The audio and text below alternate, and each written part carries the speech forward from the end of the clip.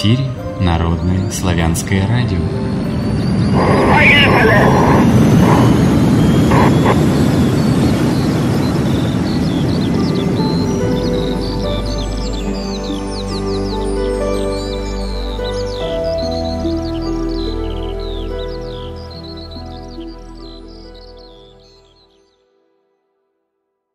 Всем здравия! С вами Народное славянское радио, Алексей Орлов. Сегодня у нас по одному из современных календарей 8 марта 2018 года, четверг, по одному из старинных, седьмой день месяца пробуждения природы, 7526 лета, пятница. Род земной, род небесный. Это тема сегодняшнего нашего живого эфира и автор-сказитель Андрей Новиков. Здравия тебе, Андрей. Здравия, Алексей. Здравия всем, кто нас слышит. Э, особое поздравление всем девушкам, женщинам с Днем весны. Радости побольше, чтобы вас радовал этот мир, и все у вас получалось. Хорошо.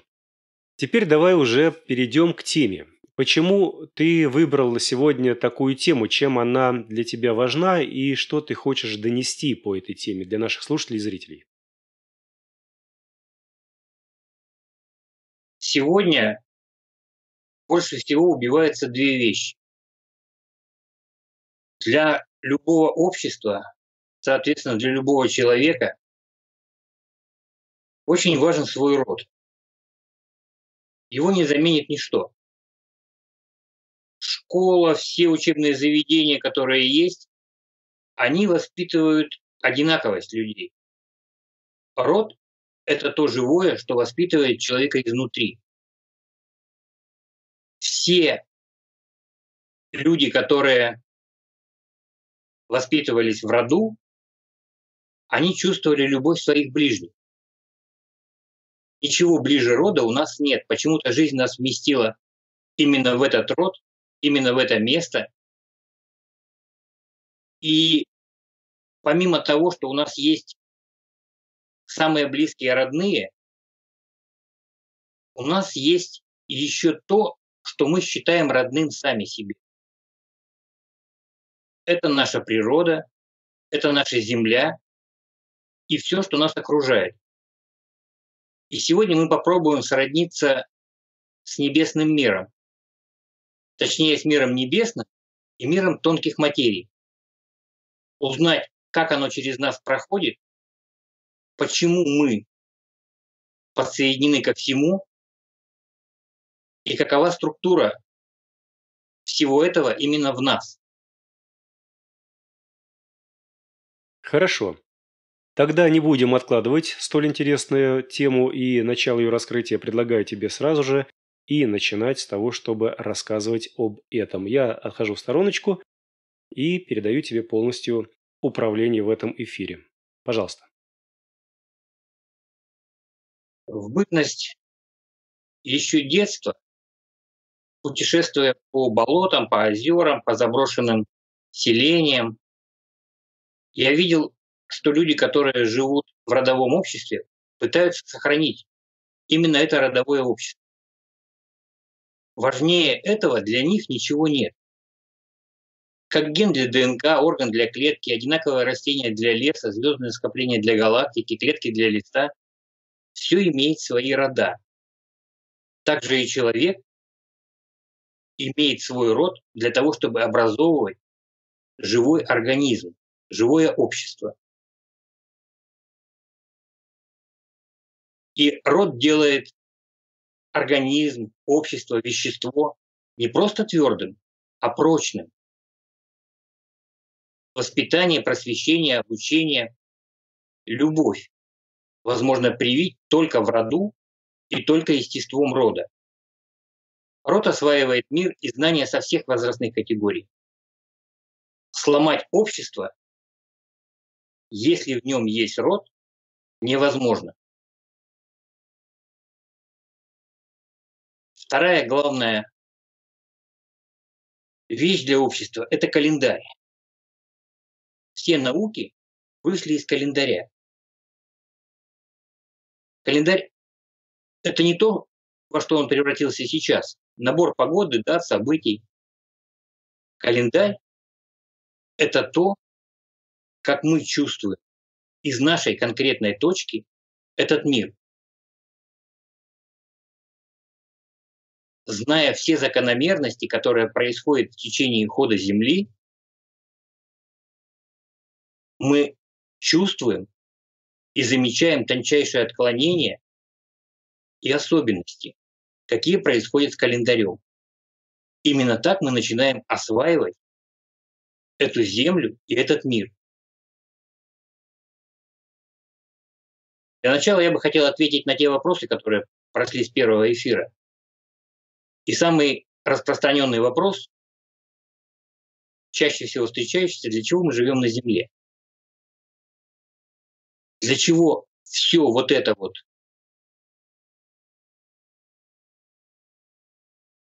как бы сказать, себя мучение, чтобы быть лучше. У новорожденного уже есть все качества, которые есть у человека. Осмысленность взгляда, красота, харизма, какой-то характер. Есть генетические особенности. Есть то, что называется родные души призывают к себе. Память рода, так называемая пра. Но с рождения дается судьба, тело, ум, способность продолжать род. И это дается через самое главное, что есть в человеке, через его душу. Ум, умение, живо, ут, как наше будущее, буд ующее как суд я. Это все передается через душу. И если нет родного в этом мире, тогда, конечно, встает вопрос, зачем все это? Если есть в этом мире родное, то вопрос встает, почему так времени и сил мало. Сегодня потребительство и Точнее, его называют инфантилизм. Но правильно по-русски это потребительство. Идет даже по отношению к самому себе. Человек что-то сделал и хочет за это сразу получить. Но душа – это гораздо больше. Это то, на что навивается все, все тело и все способности тела тело, которое есть. Поэтому есть такая пословица «жил-жил, души не нажил». Это и есть то, что человек не сделал самого главного. Никакая филомудренность, никакая йога, ничто не берется с собой туда. Харон все изымает на таможне. И судить нас будет наша собственная душа. И только нашей собственной любовью. Душа – это не совсем мы. Душа – это наша связь с миром. И если есть у нас эта любовь, то мир этот нам родной. И мы будем еще в нем воплощаться. А если этой любви нет, то возможно, что все остальные воплощения и прервутся. Поэтому живем мы здесь ради нашей любви, для того, чтобы научиться любить. Это единственное ценное, что мы здесь приобретаем. И то, что мы берем через все воплощения. Второй вопрос, который очень часто задаются, чем отличаются националисты от народников? Народники – это те, кто изучают культуру народа, живут в народе. А националисты – это как болельщики.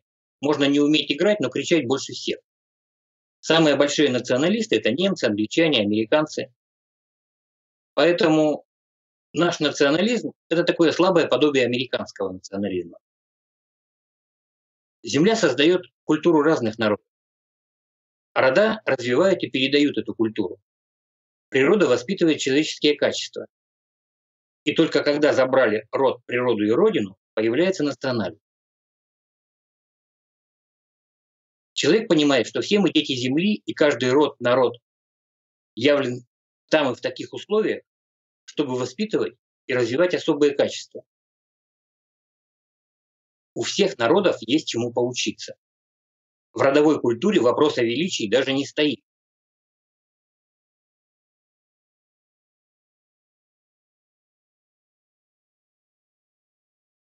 Мы не против немцев, американцев. На самом деле, если мы посмотрим историю, то русских больше всего убивали именно русские. Русский народ убивал больше всего именно русский народ. Мы против возвеличивания по любому признаку. Национальному, культурному, одежде, обычаям. Слово «национальность» – это слово без образа. И когда мы говорим э, такие слова, как «национальная гвардия», ну, встает вопрос, народная ли это гвардия? Национальный лидер. Народный это лидер или нет? Артист, певец, территория, культура. Они могут быть и народные, и национальные. Часто эти понятия чисто противоположные. Нет американской, европейской, советской народной культуры, как ни странно. Есть только та народная культура, которая прошла через рода. Род – это такой кристалл, такая очень сложная молекула. У каждого из людей в нем есть свое место и иерархия. И эти рода соединены с другими родами и со всем миром, делающие общество прочным и твердым. Нация же – это единицы, собранные вокруг идеи, в основном капитала. Это жидкая текучая масса для управления. Нация – это то, что нацелено на что-то. А народ – это то, что живет в родовой культуре.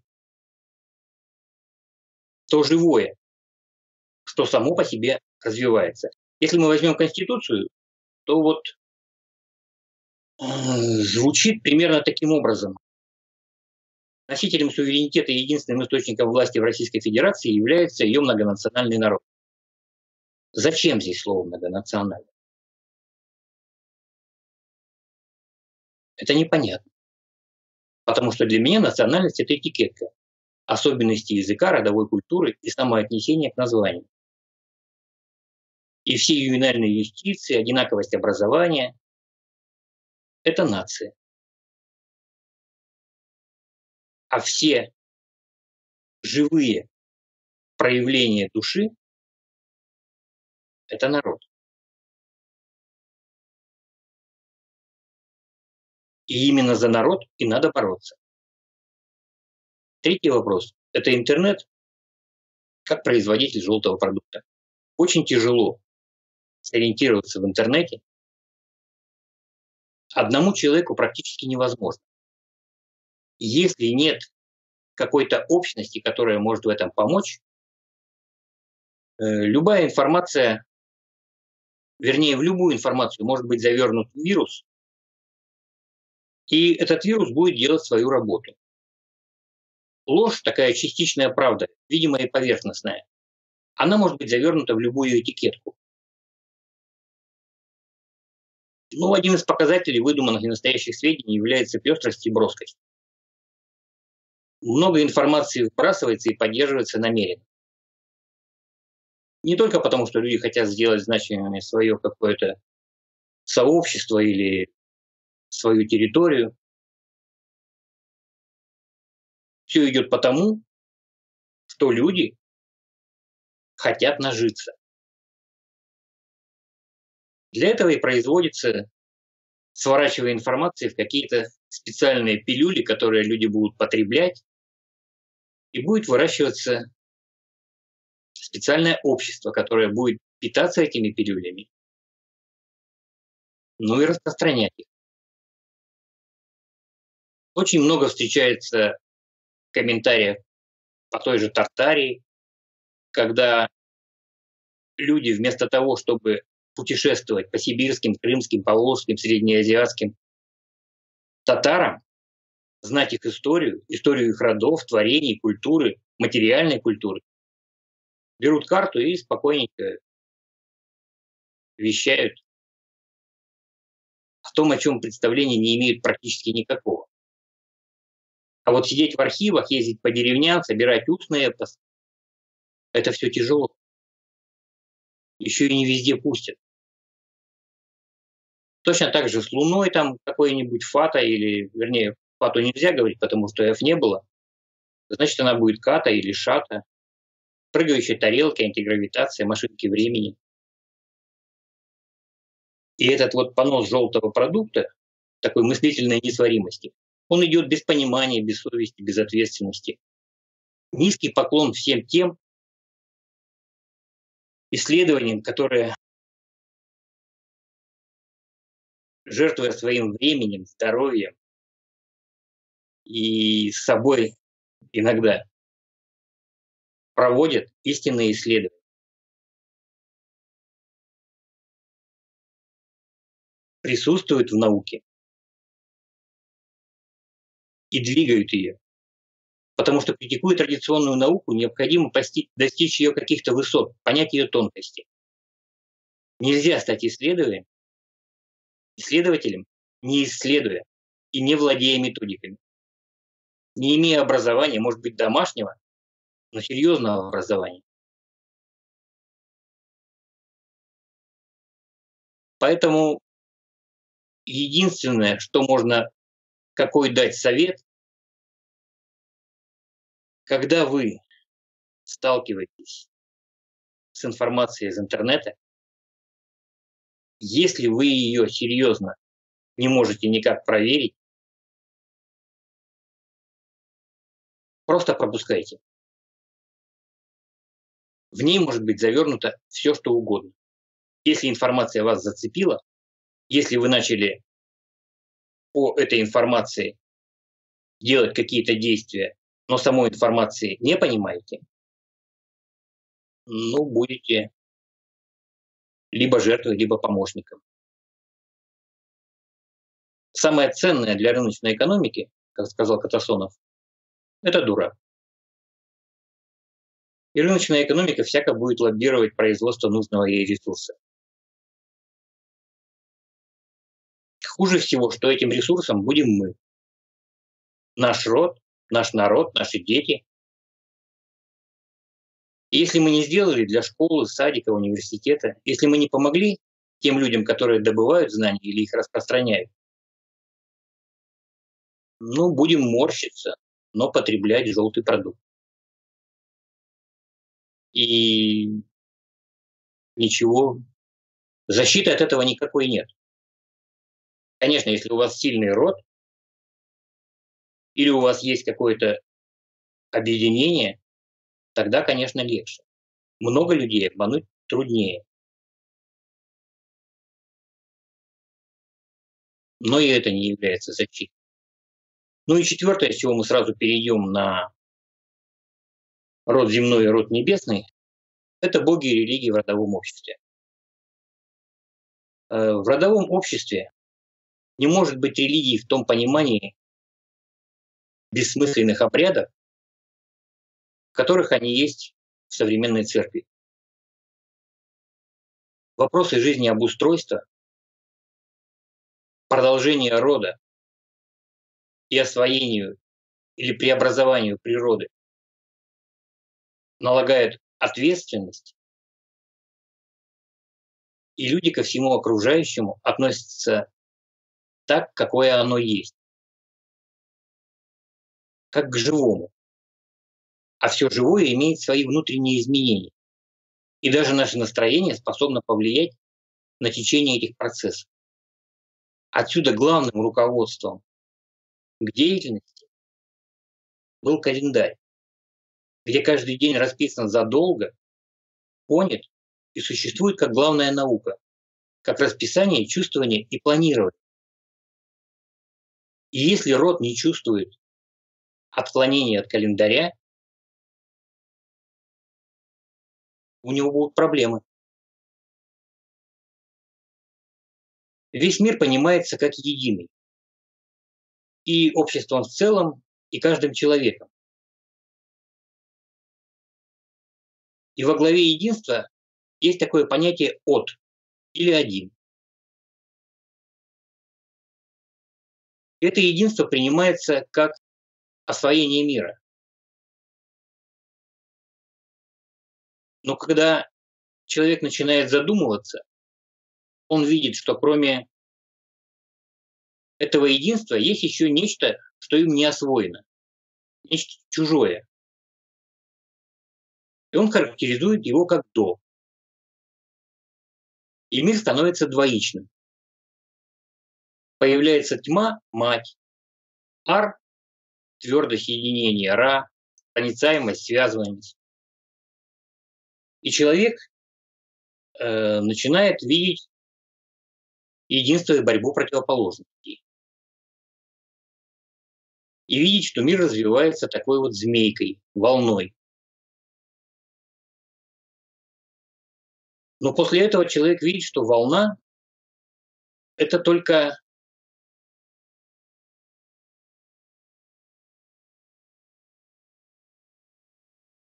плоское представление о мире. И он начинает видеть развитие мира. И тогда появляется род. Род как причина, связь и продолжение всего родного. Всегда и везде. Тогда появляются другие боги, которых род породил и которые смотрят за тем, что идет на земле. Тогда появляется пра, как Отец, Сын и Дух Святой. Тогда появляется деление дня на три части. Скажем, ночь, утро и вечер. И это очень обоснованное деление, потому что человек спит одну треть суток. Появляется троичность в круге. Но и троичность, она несовершенна. В какие-то моменты человек видит то, что каждый виток развития, он делится на четыре части. И то, что нам говорят, что крестьянство возникло маленьким еврейским мальчиком, который где-то на севере воспитался и пришел к себе на родину, и это и есть истинное христианство, то встает большой вопрос, почему же так много крестов в символике, которая датируется тысячей, две тысячи, три тысячи лет до рождения этого мальчика.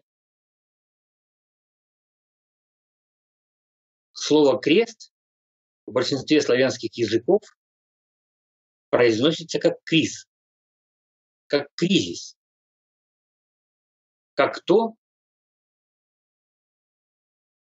что в эти дни выбрасывается какая-то энергия. И на самом деле, если мы возьмем, посмотрим на то, как расположены сегодня наши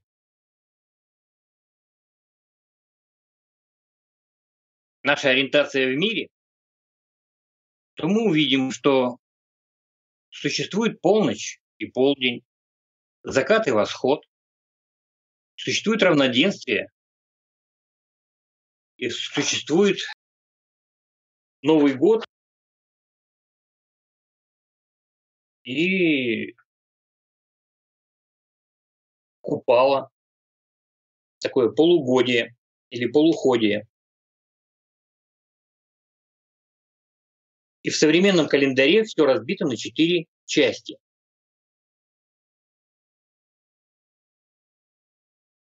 старой славянской традиции возникло две оси. Одна ось называлась ряд, а другая ось называлась яр. И само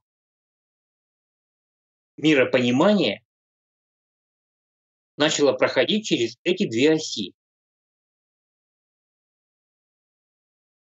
И возникла сложная календарная понятийная система знаний, убитая сегодня, хотя фольклор, орнаменты крестов, народные традиции говорят об обратном.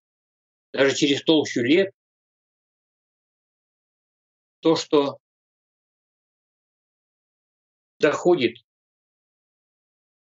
в самых отдаленных селениях через символику, через устное творчество. Потому что если мы разберем само имя Иисус Христос, то мы придем к тому, что слово Иисус состоит из двух слов. Ис и ус. Ис – это исток или истина. И устье – это как уста, устье, ус. И это не просто дорога. Это предназначенность и судьба человека.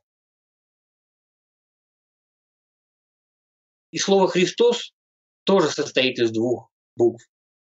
Это крест и ось. И каждый человек имеет ось вот этой своей дороги, судьбы, и несет свой крест. И если мы возьмем вот такой вот восьмиконечный крест, то увидим, что нигде более, кроме как славянской церкви, таких крестов не осталось. И именно эти кресты присутствуют в деревнях, да и в городах тоже на кладбищах, среди простого населения. Но если мы соединим этот крест с человеком, человеком, то мы увидим, что все перекрестия проходят через части тела человека. То есть верхняя планка, она символизирует Солнце. Солнце дает нам свет. Голова человека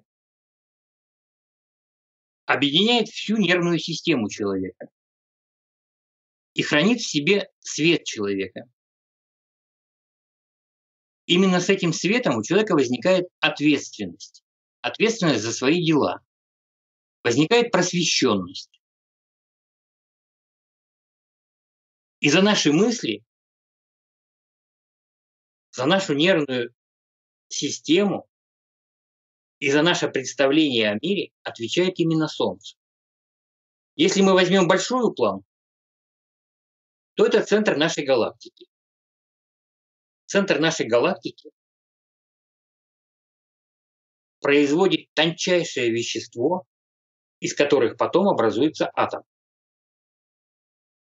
И это тончайшее вещество присутствует во всем. У нас оно присутствует с одной стороны как кровеносная система, а с другой стороны как душа. Именно душой или сердцем мы связаны с центром нашей галактики. Именно оттуда возникает самый центр нас, на что наматываются все остальные энергии. В районе живота мы видим косую планку. Помимо того, что Земля вращается вокруг Солнца, вращается с Солнцем вокруг центра галактики, с Солнцем она еще вращается вокруг звездного центра. который находится в созвездии Сириус. Это давно открытый маленький белый карлик, как ученые говорят, имеющий 2-3 массы Солнца, на самом деле он намного тяжелее, чем большинство звезд вместе взятых в этом звездном скоплении, которые вращаются вокруг него. И он производит такое вещество, которое называется в народе электромагнетизм. Вот здесь у нас находится жива. Это наш живот. И из него живо распространяется по всему телу. За счет нее мы живем, за счет нее живут все живые существа. И с одной стороны кажется, что живот расщепляет атомы и разносит их энергию по всему телу. Но на самом деле есть такие люди, которые не едят вообще.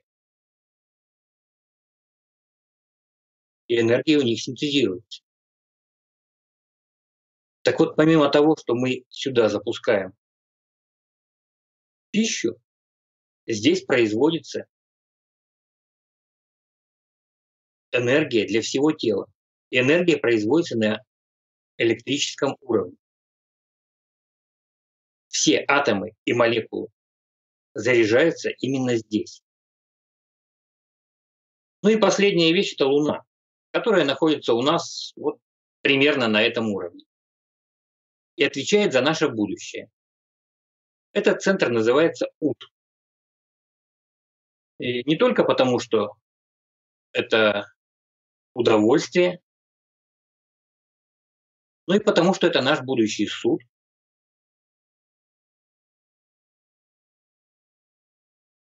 И потому что здесь образуются те энергии,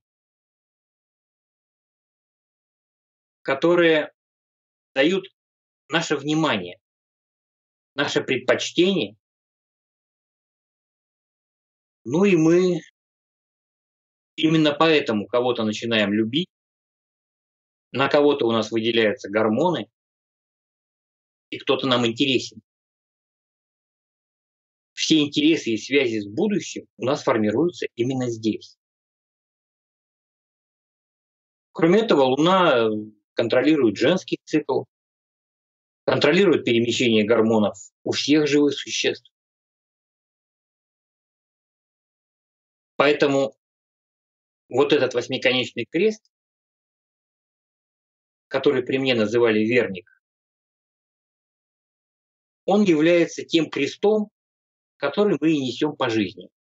Что нам дано, мы это несем по всей нашей жизни.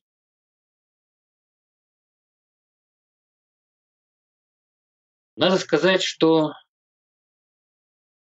современная наука все больше становится чем-то более похожим на религию. Тогда, когда одни люди достигли высот в календарной науке, другие люди образовали христианскую церковь, которая начала убивать тех людей, которые знали и передавали эти знания. И потихоньку замкнулась вот на отделании денег при крещении, похоронах, браках и прочих обрядовых действиях. Запретив все эти обрядовые действия всем остальным людям, вне зависимости от того, как у людей в роду было. И наука приходит к тому же самому.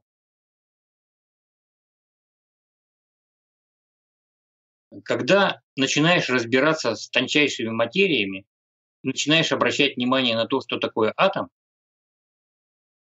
то ты видишь, что размеры атомов могут быть самые разные. И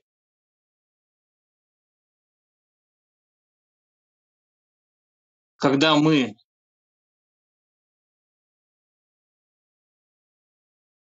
каким-то образом обращаем внимание на то, как ученые изучают эти размеры атомов, мы видим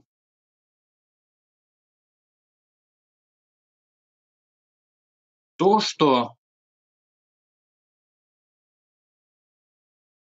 размеры атомов, э, видно мне, нет, Алексей?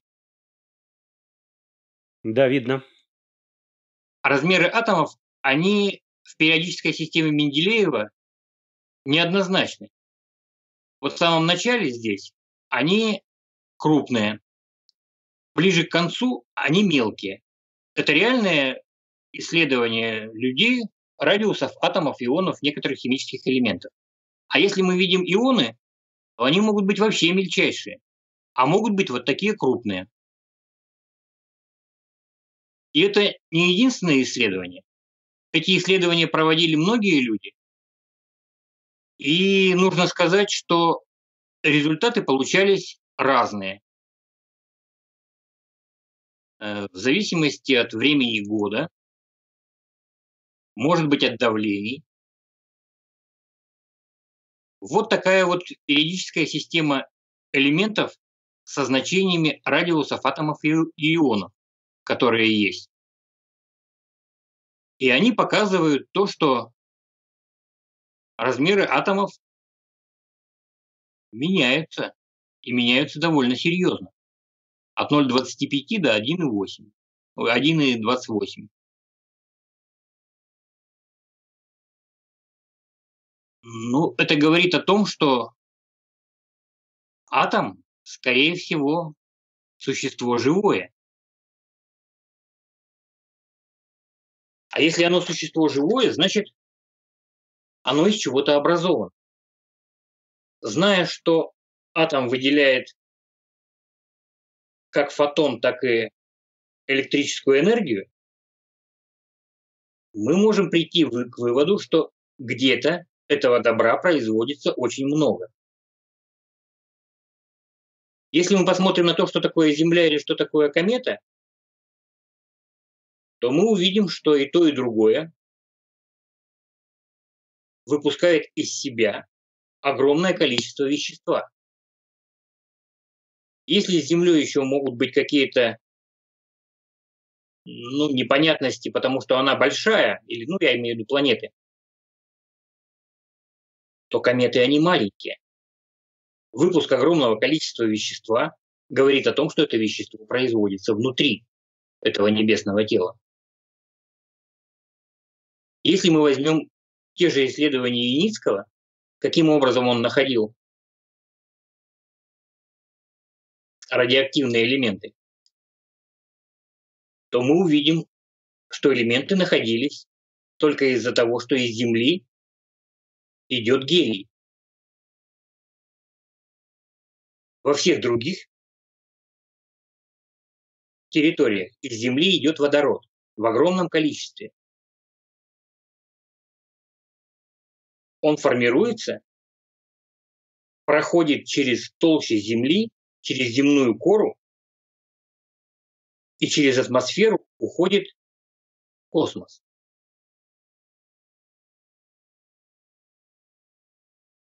И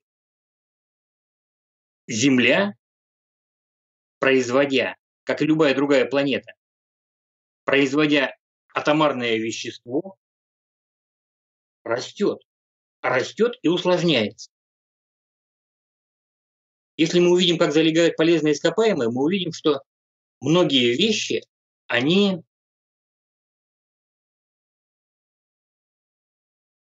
непонятны но имеют какой-то свой.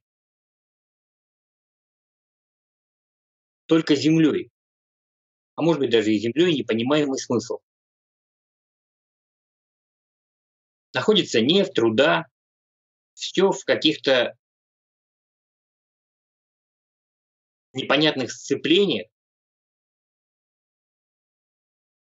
И это то, что образует живой организм, который выделяет какие-то гормоны для того, чтобы жить. Земля ведь не просто стоит на месте. Она вращается вокруг своей оси, и это один центр Земли. Она вращается с Луной. И это совсем другой центр Земли, который находится не так далеко от земной коры. И вот цикл, когда Луна проходит вокруг Земли один оборот, он называется месяц. Месяц – это то, как наш спутник Луна перемешивает земное вещество. Как внутри Земли, так и в нас самих. И никакого другого месяца раньше не было. Месяц был один оборот Луны. Поэтому он был какие-то недели 7 дней, а какие-то недели 8 дней. 30-40 дней стали его делать именно те люди, которые стали убивать. Вот это вот понимание, что такое крест и что такое кризисы. И когда небесные тела выбрасывают энергию. Поэтому сейчас Луна вращается с периодичностью 29,5 суток. Именно под этот ну, заложен весь нормальный календарь. Конечно, месяцы во всех странах стали другие. Но праздники, Пасха, Троица, они все равно остались привязаны к этому. Существует новый лунный год или новый лунный ход. И существуют проводы русской зимы, которые идут через один виток после этого. Вещество перемешалось один раз. Пасха, скажем, перемешалась полтора раза. И когда мы берем и произвольно устанавливаем месяцы и произвольно устанавливаем лунный календарь, то все это совпадать не может. Но память народная это хранит. Поэтому были две, два основных календаря, солнечный и лунный. Поэтому были праздники, которые славили пра, и люди, которые их соблюдали, назывались православными. И были праздники, которые сверялись, высчитывались. И такие люди назывались правоверными. Если мы посмотрим на солнечные праздники, которые существуют в нашем календаре, то они тоже приходятся на ту же ось, центр галактики, Солнце-Земля, про который мы говорили в прошлой передаче. И празднуются недели до подхода к этой оси. Например, к оси Яр, через которую проходит Новый год Купала. И до прохода оси ряд, который празднуется от Дня равноденствия неделю до первого числа апреля месяца и неделю до и после, и неделю и после до 1 октября. Данные празднования в календаре, они не просто позабыты. Люди уничтожали их специально. Часто вместе с, вместе с носителями данных знаний.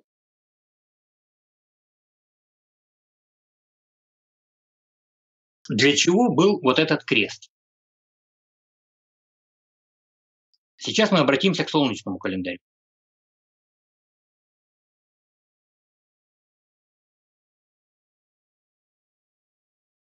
Шестого января проходит Богоявление. И Богоявление – это тот праздник, когда Земля выходит из тени Солнца. Выходя из тени Солнца, Земля испытывает огромный восторг, который передается всему. И передается он лучше всего через воду. Вода пробуждает в человеке, пробуждает на всей Земле, на всей Земле как едином организме, пробуждает восторг. Передает, вернее, вода восторг, который есть у Земли. И человек подзаряжается этим. Две недели происходили внутренние изменения. Клетки, в генах, каких-то самых потаенных местах. И заканчиваются они вот этим восторгом. И если человек не приобщился к этому восторгу, не очистил свою живу,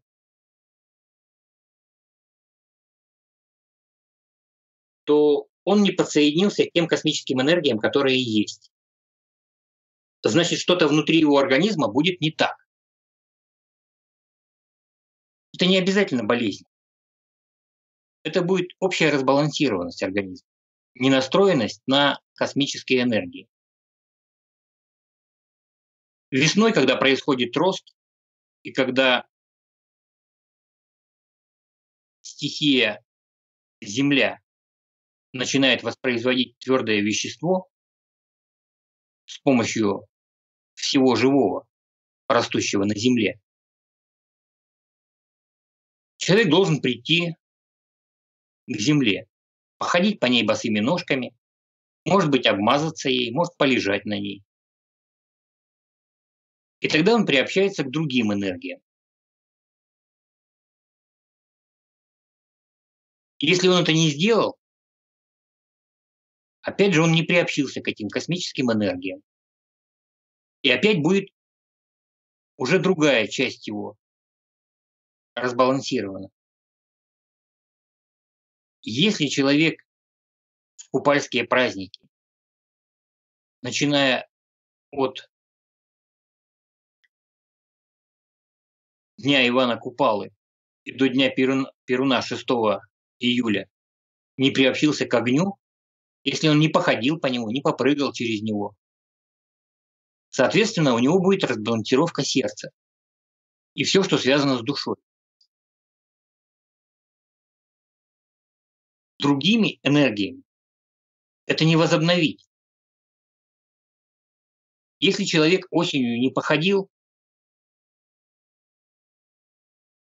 по воздуху, не разделся и не приобщился вот к этому воздушному миру, то у него будет разбалансированность всех энергий, интересов и половой части. И в другое время это тоже не сделать. Это те обязанности, которые мы должны проявить по отношению к здоровью собственного организма. И даже не только собственного организма или тела, а всех тех энергий, которые ходят внутри нас. Фактически, которые нас создают. Если мы это не делаем, это очень плохо. Значит, мы не знаем своего календаря, по крайней мере, солнечного, и не знаем той, не знаю, как периодичности процессов. То есть то небо, которое есть, оно не родное для нас. Мы к нему не приобщаемся, мы его не знаем, и с ним никак не связаны. Если мы посмотрим на мелкие небесные тела, то вот Земля, она производит атомарное вещество. Но Солнце атомарное вещество, или звезды, точнее сказать, атомарное вещество от себя отпустить не могут. сила притяжения внутрь слишком большая. В науке она называется гравитация. Что такое гравитация? Тогда, когда в живом небесном теле образуется вещество, которое это небесное тело большей частью отдает космосу, а меньшей частью посвящает себе и складывает из него более сложные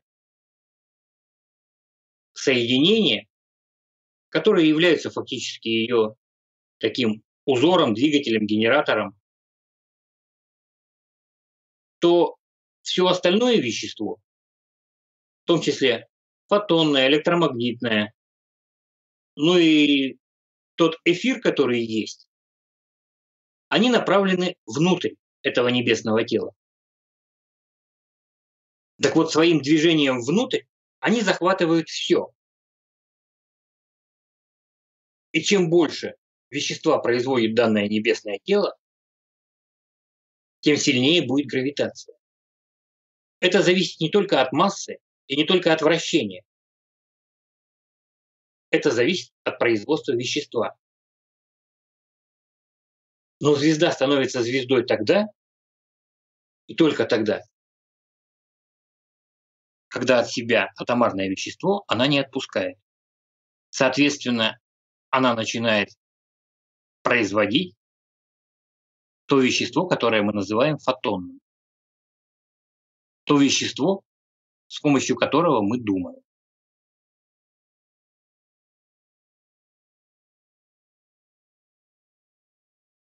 По какой-то причине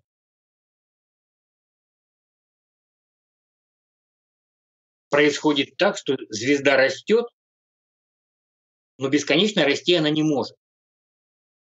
И в какой-то момент те связи, которые есть у атома электронные, они рвутся.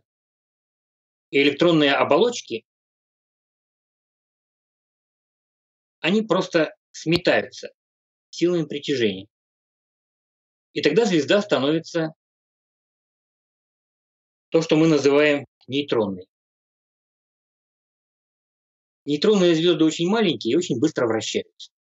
Это такое вот ядро простой Земли, которое осталось для производства совершенно другого вещества.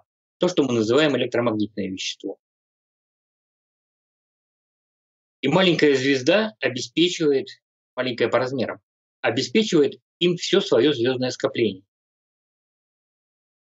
и передает его всем небесным телам. Но в какой-то момент и эта звезда имеет невозможность отвергать от себя электромагнитную энергию. И тогда либо она падает на центр галактики, либо начинает образовывать какую-то свою галактику.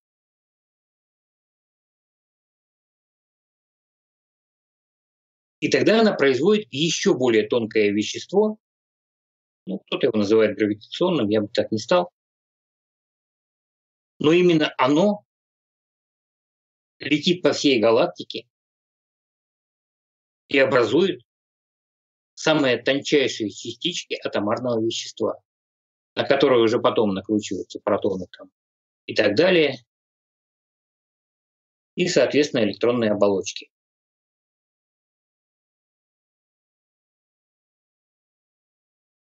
И все это связано с человеком.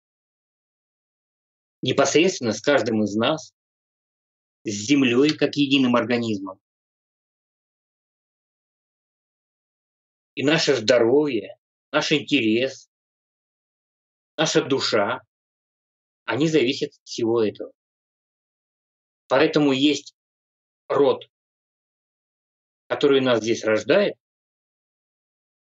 и есть род, из которого мы формируемся. Человек не просто сборище клеток или там атомов.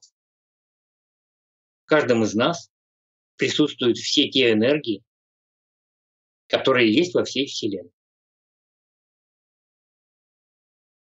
И мы строимся и формируемся по образу и подобию всей Вселенной.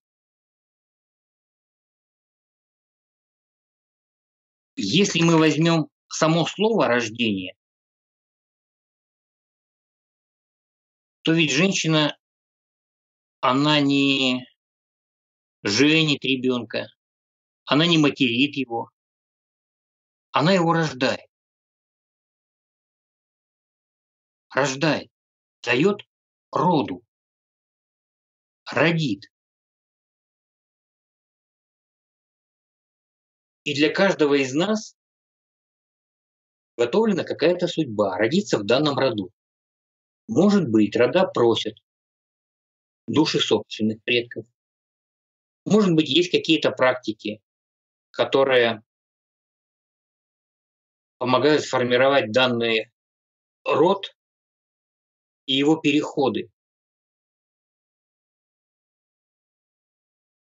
Но кроме этого всего, род притягивает и другие души. И если мы всего этого не знаем и не делаем, если мы даже не знаем свой род, а живем таким единоличным хозяйством, ну, в крайнем случае, маленькой семьей, то потихоньку мы попадаем под власть паразитов тех людей, которые наживаются на нас. Мы им начинаем служить. Мы отрываемся не только от своих непосредственных родных. Получается так, что мы отрываемся вообще от всей Вселенной. Мы обосабливаемся и становимся отдельной единицей. Тогда мы становимся нацией, нас нацеливают куда нужно. Тогда мы становимся не теми людьми, которые преобразуют этот мир, а теми людьми, которые служат. Служат конкретным людям. Или служат наживе. Или чему-то похожему. То есть мы сами своей судьбой уже не распоряжаемся. Нашей судьбой нашими делами. И даже теми людьми, которых мы производим, распоряжаются другие люди. И тогда мы отрываемся от всего. И защиты нам ждать неоткуда. Да может и не надо. И тогда встает вопрос, тот, который, с которого мы начали передачу. Зачем все это? В этом мире. Если нам не нужны будущие воплощения, если нам не нужны дети, если нам не нужны наше родное, тогда незачем. Тогда нужно стать человеком, которого нацелят и который будет выполнять все указания других людей, ну или, по крайней мере, тех, которые над ним находятся. И спокойненько доживать по крайней мере, эту жизнь. А вот если человек живой,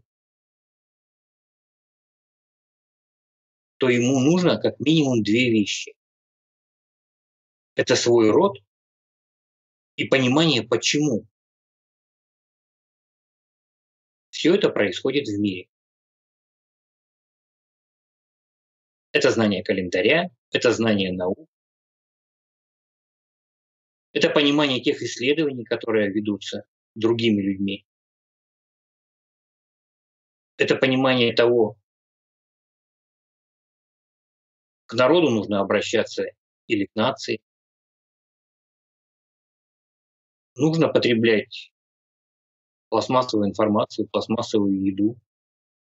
Или нужно как-то учиться самому преображать мир и пытаться жить своим трудом, своим преображением этого мира. То есть самому делать этот мир роднее.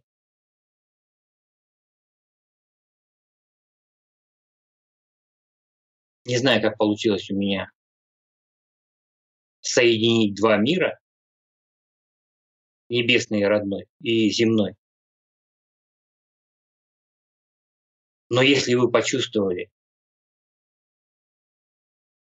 хоть какое-то желание познавать мир небесный и его влияние на нас, я буду очень рад.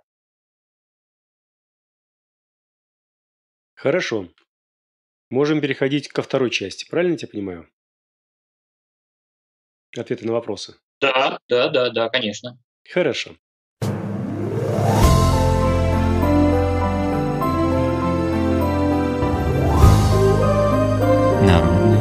Славянское радио. Для пытливых умов. Продолжение слушайте в следующей части.